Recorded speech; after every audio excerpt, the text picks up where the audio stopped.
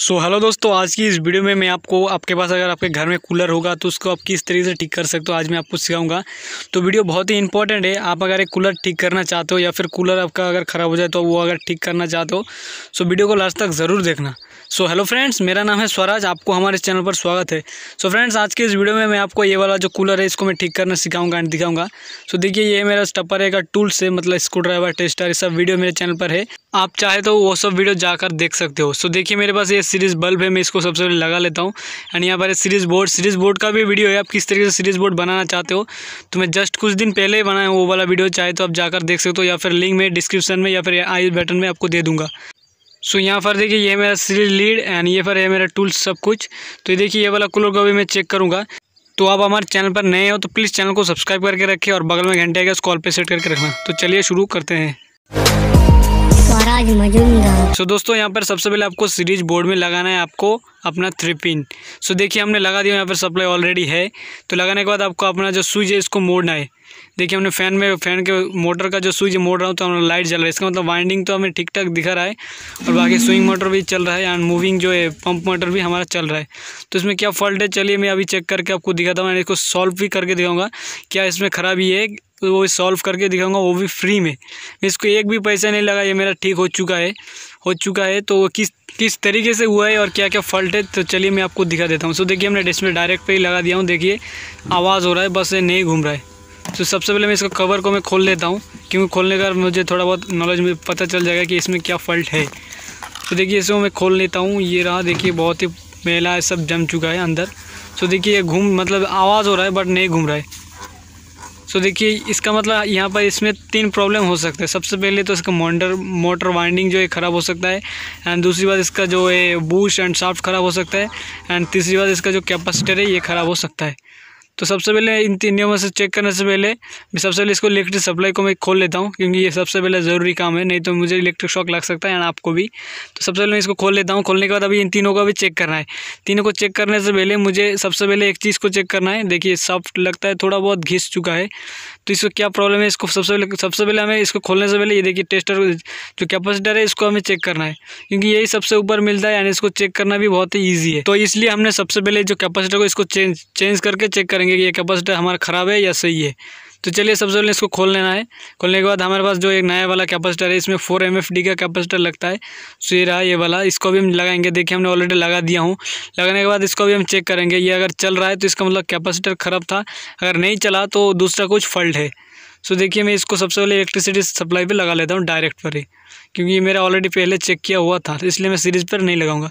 सो देखिए इसको हमें अभी हम लगाते हैं।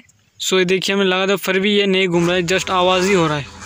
सो हाथ हाथ से अगर घुमाएँगे तो थोड़ा बहुत घूम रहा है बट उतना स्पीड से नहीं घूम पा रहा है। तो इसमें क्या फॉल्ट है? इसमें तो अभी एक तो फॉल्ट हमारा सॉल्व हो चुका है मतलब कैपेसिटर इसका ओके है बट इसमें अभी फॉल्ट है या वाइंडिंग का या बूस्ट शाफ्ट तो इसमें से सबसे पहले अभी तो ये चेक हो जाए कैपेसिटर ख़राब है कैपेसिटर तो सही है, अभी हम चेक करेंगे इसका वाइंडिंग वाइंडिंग को चेक करने से सबसे पहले इसको इलेक्ट्रिक सप्लाई से निकाल लेते हैं बाहर। निकलने के बाद इसमें जो है, देखिए मैं सबसे पहले को देख लेता हूँ तो लगता है मुझे ये सॉफ्ट थोड़ा बहुत घिस चुका है या फिर मेला है अंदर। तो सबसे पहले अभी यहाँ पर हमने इसको खोलेंगे इस स्विच को। स्विच को खोलने के बाद यहाँ पर देखिए, यहाँ पर इसका वायरिंग किया हुआ है ऑलरेडी तो इसको हमें खोलना है। तो ये देखिए, ये ब्लैक रेड एंड वाइट तीन कलर का इसमें थ्री स्पीड का है, तीन कलर का वायर है। तो तीनों को खोलना है एंड जो मेन जो इसका कॉमन है, इसको भी खोलना है। सो देखिए, मैं इसको खोल कर आपको दिखा देता हूँ। देखिए, ये ब्लैक वाला एंड ये वाइट वाला एंड एक ये रहा रेड वाला। ये तीनों को हमें खोलना है। सो और ये देख सकते ब्लू कलर का कॉमन लगा हुआ है यहाँ पर। ये रहा ब्लू कलर का। तो चलिए, मैं तीनों को खोल लेता हूँ। उसके बाद मैं आपको दिखा देता हूँ। तो देखिए, हमारा तीनों जो है, खुल चुका है। तो खुलने के बाद इसको हमने बाहर निकलना है। जो नीचे की तरफ़ हमने जो मोटर की तरफ़ इसको बाहर निकल बाहर निकलना है, तब हम इस, तब हम इसको अच्छे तरीके से चेक कर सकते हैं। तो देखिए, ये रहा अंदर के साइड हमने इसको बाहर निकालना है। निकालने के बाद इसको हमने सीरीज़ लीड की मदद से चेक करेंगे। देखिए, ये हमारा बाहर आ चुका है। सो ये रहा हमारा सीरीज़ बोर्ड यहाँ पे अभी हम लगाते हैं सीरीज़ को लीड को। लगाने के बाद इसको अच्छे तरीके से चेक करेंगे कि ये इसका वाइंडिंग सही है या फिर ख़राब है। तो इसको चेक करने के लिए हमें, देखिए, यहाँ पे सप्लाई है ऑलरेडी तो अभी इसका जो वायर है, इसको हमें चेक करना है। एक जो इसमें, यहाँ पर चार वायर है। एक ब्लू को लगाना है और एक कहीं पे भी लगा तो रेड को, देखिए रेड पे लगा है, एक ब्लू एक रेड पे तो ये जल रहा है लाइट सो आपको स्पार्किंग से पता चल जाएगा क्योंकि देखिए, इसमें सप्लाई ऑलरेडी आ रहा है तो लाइट को मैं नहीं दिखा पा रहा हूँ, क्योंकि वो मेरा दूसरा बैकग्राउंड पर है मतलब दूसरी जगह पर है, हमारा सीरीज़ लाइट सो हमारा वाइंडिंग भी सही दिखा रहा है तो फल्ट आ चुका है, हमारा जो है बूश के अंदर या फिर शाफ्ट के अंदर। तो उसको अभी खोलने के लिए हमें मोटर को खोलना पड़ेगा। मोटर को खोलने के लिए सबसे पीछे का ढक्कन को खोलना है। एंड पीछे के देखिए यहाँ पर चार नट लगा हुआ है। ये चारों नट को हमें खोलना है। तभी हम मोटर को बाहर निकाल सकते हैं। तो इसको खोलने के लिए और एक चीज़ की हमें खोलने की ज़रूरत है, ये फ़ैन को। सो देखिए, यहाँ पे फ़ैन भी कभी कभी यहाँ का नट है ना, जो जो है जोंग लग जाता है। तो जोंग लग लग जाता है तो इसको खोलने के लिए आपको थोड़ा अच्छी क्वालिटी का टेस्टर एंड स्क्रू ड्राइवर की ज़रूरत है। सो देखिए, मेरे पास एक बढ़िया स्क्रू ड्राइवर एंड प्लस है। इसके थ्रू आप खोल सकते हो। मैं इसको, इसके थ्रू इसको खोल दूँगा। तो इसका जो, ये देख सकते हो टपरिया कंपनी का इसका वीडियो है। चैनल पर आप चाहे तो जाकर देख सकते हो। सो देखिए, इसको तो मैं अभी खोल लूँगा। खोलने के बाद जो पीछे का जो नट है, इसको खोलना है। सो कभी कभी क्या होता है, यहाँ पे जोंग लग जाता है। जोंग लगे, लगने की वजह से यहाँ पे ये कभी कभी क्या होता है, टूट जाता है या फिर दूसरी तरफ़ से, दोनों तरफ़ से ये खुलता है। तो देखिए मेरे पास ये देख, एक टपर एक एट एंड नाइन नंबर का नट रेंची है। तो यहाँ पर एट नंबर का रेंची की ज़रूरत है। तो मैं एट नंबर की मदद से इसको खोलता हूँ। कभी कभी क्या होता है, यहाँ पे जोंग लग जाता है। जोंग लगने के कारण ये नहीं घूमता या फिर टूट जाता है या फिर दोनों तरफ़ घूमता है। ये तीन प्रॉब्लम होता है ज़्यादातर। तो इनमें से आपका अगर ऐसे दोनों तरफ़ घूम रहा है तो आपको एक ही चांस है आपको इसको जो हैंड ग्राइंडिंग मशीन से मशीन के थ्रू या फिर हैक्सो ब्लेड के थ्रू कट करना पड़ेगा। या फिर आपको प्लास के थ्रू इसको मोड़ कर तोड़ना पड़ेगा। तो उससे बढ़िया है, आपके पास हैंड ग्राइंडिंग या फिर हैक्सो ब्लेड के थ्रू आप इसको कट कर दीजिए। तो देखिए, मेरे पास है तो ईजी की ईजी मतलब ये इतना जॉन्ग नहीं लगा है तो इसलिए ये ईजी में खुल रहा है। तो देखिए जो चारों नट है इनको मैं खोल लेता हूँ बहुत ही आसान तरीके से, क्योंकि अगर ये हमारे जोंग उतना भी ज़्यादा नहीं लगा है तो चलिए मैं इसको खोल लेता हूँ सबसे पहले। सो देखिए, हमने इसको खोल के बाहर निकाल लिया हूँ ऑलरेडी पहले से। तो इसको भी हम थोड़ा बाहर लेंगे, क्योंकि यहाँ पे ज़्यादा ही मतलब जगह नहीं है। सो देखिए, इसको बाहर लेने के बाद इसका जो ब्लेड है, इसको हमने खोल दिया हूँ ऑलरेडी अब इसको भी हमें चेक करना है, इसका बूस्ट बूस्ट सही है या ख़राब? तो उसको चेक करने से अंदर से सॉफ्ट अगर ख़राब है या सही है चेक करने के लिए यहाँ पे इसको प्ले आपको चेक करना है, ये प्ले हो रहा है या नहीं? मतलब ऊपर नीचे अप एंड डाउन सो देखिए मैं कैमरा को थोड़ा फोकस करके आपको दिखा देता हूँ, इसको अप एंड डाउन है या नहीं? सो थोड़ा बहुत आपको आई थिंक नहीं दिख रहा होगा। मुझे लगता है जस्ट है। सो इस, इतने में कोई बात नहीं। तो चलिए मैं इसको अभी खोल लेता हूँ। खोलने के बाद इसमें क्या प्रॉब्लम है? अच्छी तरीके से मैं आपको देख, मैं देख लेता हूँ। सो देखिए इसका जो पीछे का जो नट है, इसको हमने खोल लिया हूँ। सो देख सकते हो चारों को नट, जो लंबा लंबा नट लगा हुआ था, ये देख सकते हो। इनमें से दो मेरा टूट चुका है ऑलरेडी और जो दो ये अच्छा है तो दो तो मेरे मुझे नया लगाना पड़ेगा। तो देखिए इसका जो कैपेसिटर का वायर सब कुछ खोल लिया इसको भी बाहर निकलना है।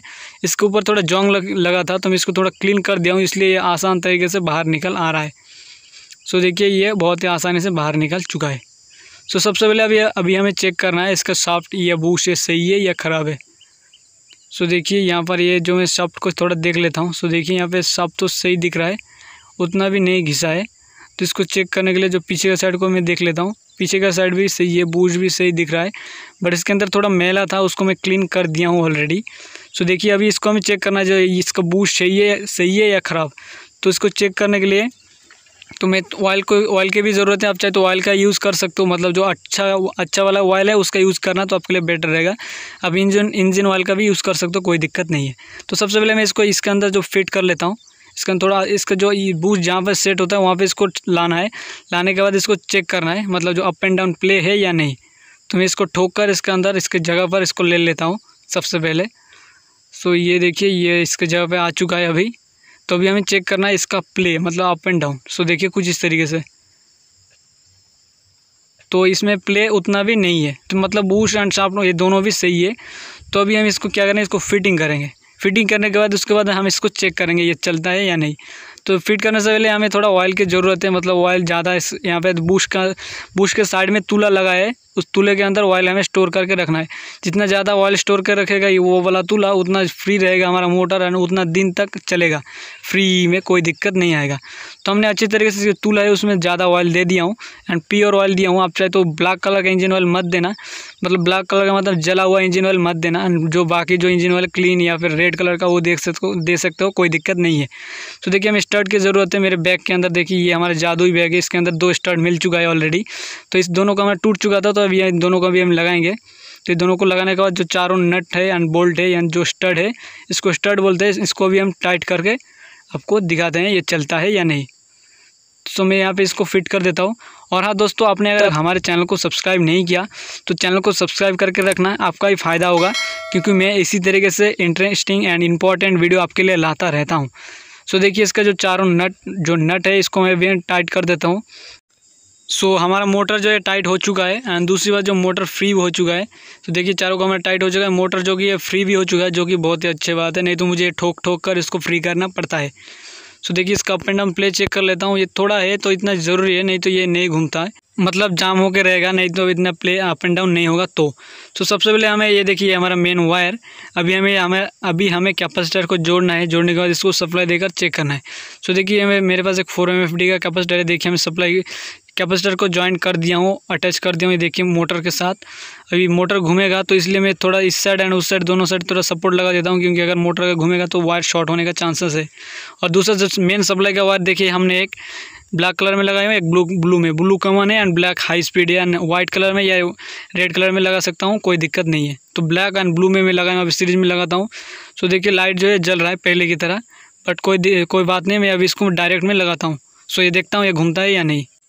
आई थिंक मुझे चाहिए तो घूमना चाहिए था क्योंकि इतना मेहनत किया हूँ इसका पीछे। सो देखिए, अभी मैं ऑन करता हूँ, देखता हूँ। धीरे धीरे। सो ये देखिए, घूम रहा है हमारा मोटर।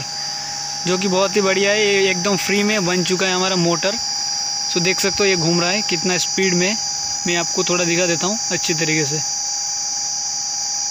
सो देख सकते हो ये हमारा ठीक मतलब ठीक, ये हमारा क्लॉक ही घूम रहा है, कोई दिक्कत नहीं है। सो अभी इसको अभी हमें फिटिंग करना है अपने कूलर के ऊपर अंदर।